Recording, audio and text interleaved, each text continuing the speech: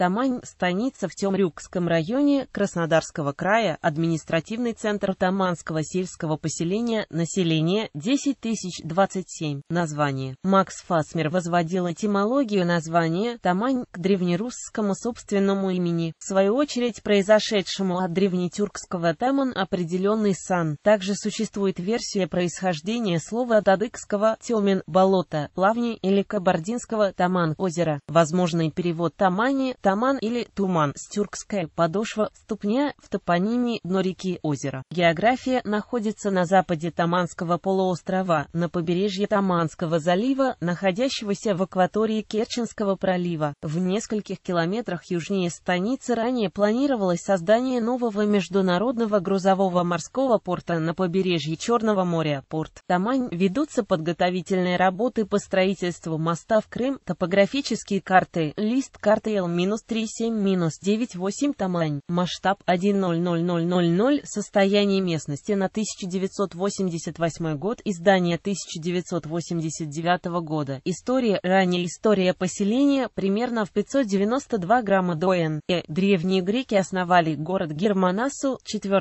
сентября 2008 года состоялось празднование 2600-летия Германаса и Тмутарака Нитамани. Викарием Екатеринодарской и Кубанской епархии епископом Ейским Тихоном была освящена православная часовня в честь Федора Ушакова. Греческий полис Германаса, византийский город Таматарха, Хазарская Таматарха, Матлука, а также Самкерц, Самкуш, Тумен-Тархан. Арабские источники этого периода называют город Самкуш Ал-Яхуд, что может указывать о существовании здесь большой еврейской общины, или о распространении иудаизма у хазарской знати. Славянская Этмутаракань, столица древнерусского Этмутаракан Османского княжества. После разгрома Хазарского каганата в 965 году киевским князем Святославом Игоревичем город перешел под власть Руси. В это время известен как крупный торговый город с хорошей гаванью. Через Этмутаракань поддерживались политические и экономические связи между русскими княжествами, народами Северного Кавказа и Византии. В городе жили косоги, греки Аланы, русичи и армяне. Посетивший регион в XVIII веке Иоганн Тунман, говоря населении отмечал эту Мутаракань в X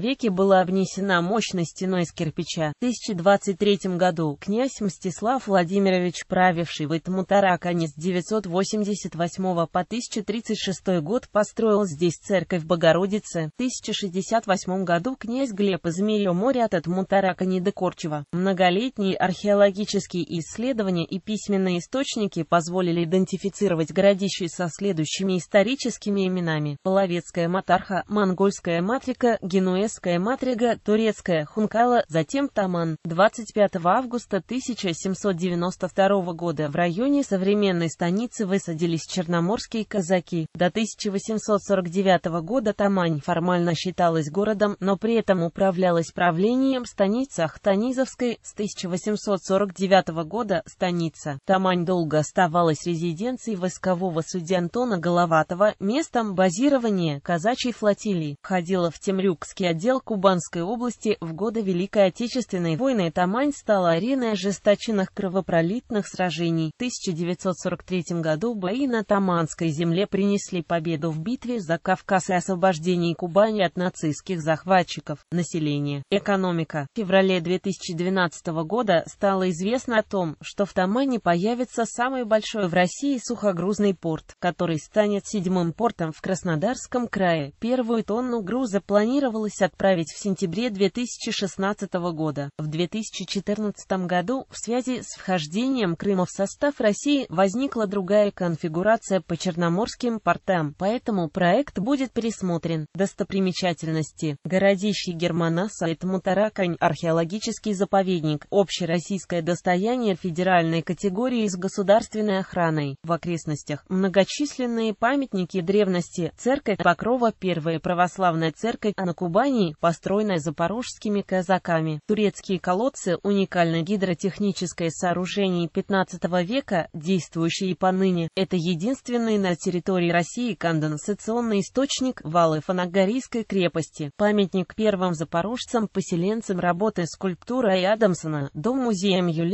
Таманский археологический музей, музей виноделия, коса Тузла, этнопарк Атамань, музей казачества, Лермонтова «Станицы в искусстве» в Тамане происходит действие одноименной части романа М. Ю. Лермонтова «Герой нашего времени».